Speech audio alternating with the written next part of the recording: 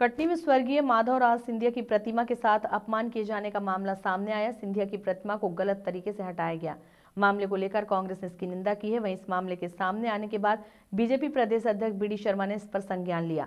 राष्ट्रीय राजमार्ग तीस, कटनी बाईपास मार्ग पर स्थापित श्रद्धेय स्वर्गीय माधव राज सिंधिया की प्रतिमा के आपत्तिजनक तरीके से हटाए जाने पर प्रदेश अध्यक्ष एवं सांसद बीडी शर्मा ने तत्काल गंभीरता पूर्वक संज्ञान लेते हुए कड़ाई से कलेक्टर और एनएचएआई के अधिकारियों को निर्देशित किया है कि मूर्ति का विस्थापन सौंदर्यकरण के साथ अच्छे से अच्छी जगह किया जाए।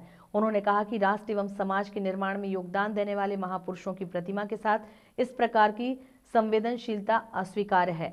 इसके बाद एनएचएआई के परियोजना निदेशक ने जिम्मेदार सीनियर इंजीनियर मनोज वर्मा एवं इंजीनियर आशीष से परिहार, टीम लीडर राजेश कुमार नेमा एवं सहायक ब्रिज इंजीनियर दीपक सोनी को दोषी पाए जाने के बाद त्वरित रूप से सेवा से निलंबित कर दिया।